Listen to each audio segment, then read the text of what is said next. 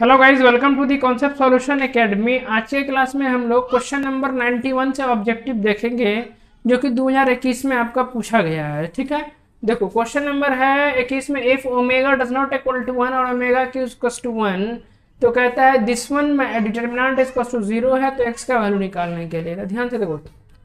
हम इसमें rule apply करेंगे, ये हो गया सी वन ये होगा सी टू ये होगा सी थ्री तो सी वन में सी टू सी थ्री को जोड़ देंगे। देखो ऑपरेशन हो जाएगा सी वन में c one plus c two plus c three तो यहाँ कितना हो जाएगा? देखो तो एक्स प्लस वन ऐसी ये सी टू है तो ये हो जाएगा प्लस ओमेगा और ये हो गया सी थ्री इसको जोड़ दो तो ओमेगा स्क्वायर फिर आओ ओमेगा प्लस कौन था? इसमें इसको जोड़ दो x plus omega square plus one को जोड़ दो, इसमें आ जाओ omega square plus one plus x plus omega और जो बाकी सब जितना भी है रो या कॉलम है, जैसी है, वैसी उतर जाएगा।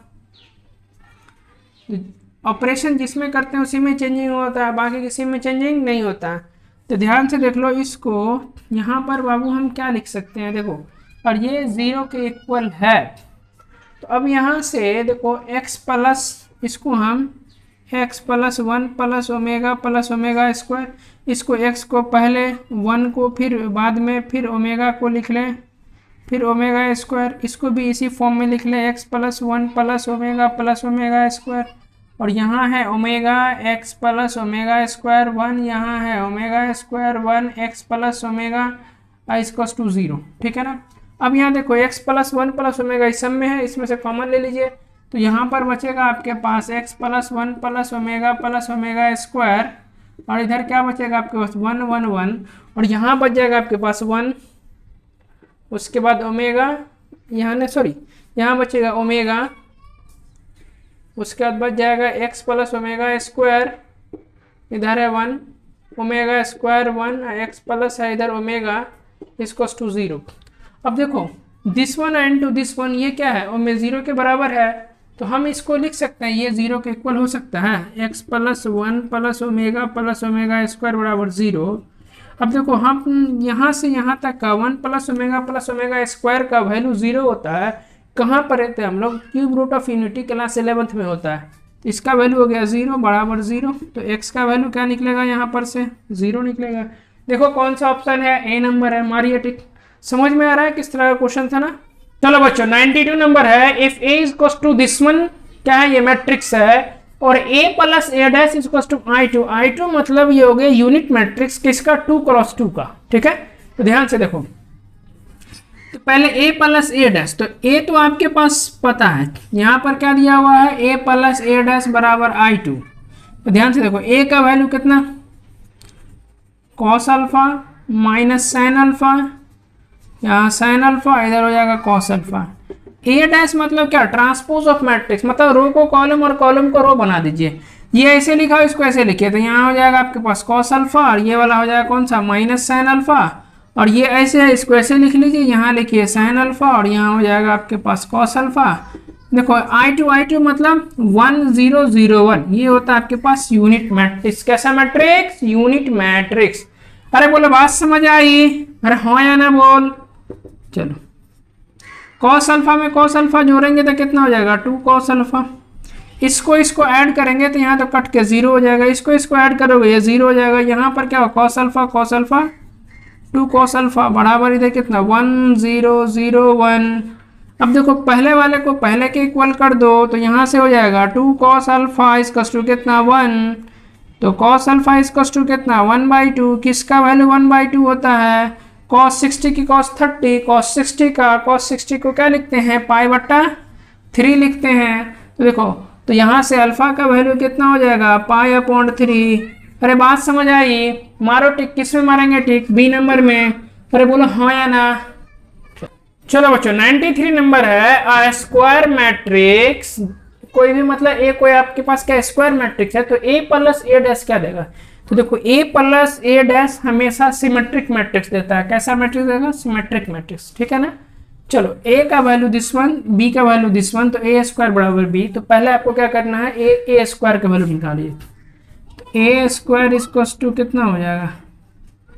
इधर है lambda zero one zero sorry one one इसी को दो बार मल्टीप्लाई कर दो। मल्टीप्लाई क्या होगा this one into this one तो लेमडा का square plus zero into one कितना हो जाएगा? ज़ीरो इसको इसको करोगे तो ज़ीरो इसको इसको करोगे तो ज़ीरो फिर चलो, इसको करोगे वन इंटू लेमडा तो कितना होगा? लेमडा प्लस कितना इधर वन इसको इसको कर लोगे ज़ीरो इधर हो जाएगा वन तो ये हो जाएगा lambda square zero lambda plus one इधर वन अब कहता है कि ए स्क्वायर बराबर बी ए स्क्वायर का वैल्यू कितना निकला? ये निकला है तो अब यहाँ पुट कीजिए ए स्क्वायर की जगह पर lambda square zero lambda plus one इधर वन बी बी का वैल्यू कितना है? One zero two one one zero two one अब लेमडा को लेमडा के पहले वाले को पहले केवल कीजिए लेमडा स्क्वायर बराबर वन तो लेमडा का वैल्यू कितना हो जाएगा? प्लस माइनस वन और दूसरा है लेमडा प्लस वन तो फ़र्स्ट वाले को फ़र्स्ट के इक्वल कर दो टू तो लेमडा का वैल्यू कितना हो जाएगा? टू माइनस वन तो लेमडा इज़ टू वन देखो कौन सा ऑप्शन है? वन माइनस वन, और इधर से आपके पास कौन सा है? देखो देखो देखो देखो देखो। तो अब देखो, यहाँ पर से थोड़ा सा है क्या इसमें? अब आपको चेक करना पड़ेगा, यहाँ पर से अगर इसमें देखो। यहाँ तो वन माइनस वन दोनों आ गया तो इसमें देखो अगर यहाँ पर वो अगर माइनस वन दोगे तो माइनस वन और यहाँ पर वन देगी तो ज़ीरो हो जाएगा। तो माइनस वन क्या करेगा? सेटिस्फाइड तो नहीं करेगा, लेकिन वन दे करके देखो तो वन का स्क्वायर वन यहाँ भी है वन वन टू यहाँ भी सेटिस्फाई किया था इसीलिए ऑप्शन कौन सा होगा? वन नंबर होगा। तुम्हारा टिक बी में, ठीक है ना? अब क्वेश्चन है 95 नंबर में if a is equals to this one matrix then a inverse exist करेगा a dash a sorry determinant of a zero होगा a inverse does not exist तो आप यहाँ पर क्या करो, जो भी मैट्रिक्स दिया हुआ है, इस तरह का ऑप्शन रहेगा तो इसमें आप लोग क्या करें इसका डिटर्मिनेंट निकालो। तो वन ज़ीरो ज़ीरो वन तो डिटर्मिनेंट कैसे, ऐसे मल्टीप्लाई कर दो, इसको वन इंटू वन फिर ऐसे कर दो ज़ीरो वन हो गया। तो मतलब डिटर्मिनेंट क्या हो गया वन तो ऐसा मैट्रिक्स जिसका डिटर्मिनेंट कुछ निकलेगा तो उसमें क्या होगा ए इनवर्स एग्जिस्ट करेगा। ठीक है ना? चलो the number of a unit vectors perpendicular to the plane अब से ध्यान ये कोई प्लेन है बोर्ड क्या होगा आपके पास? प्लेन है इसमें कितना यूनिट वेक्टर हो सकता है?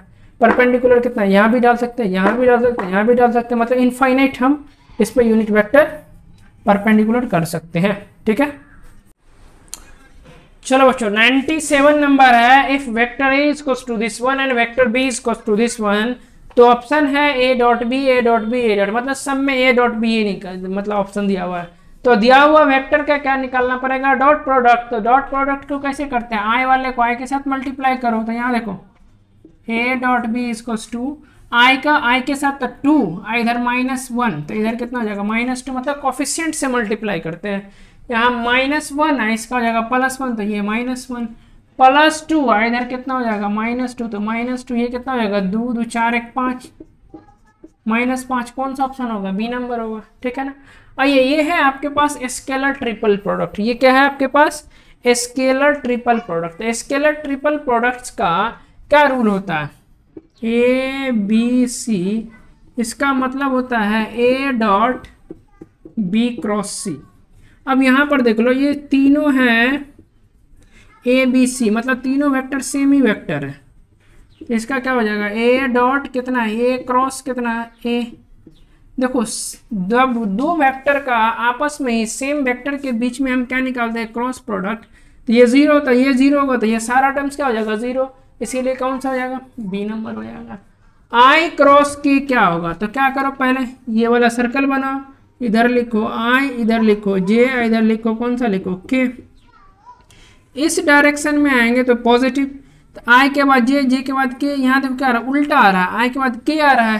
तो आई क्रॉस के तो माइनस जे, कौन सा हो जाएगा? D number.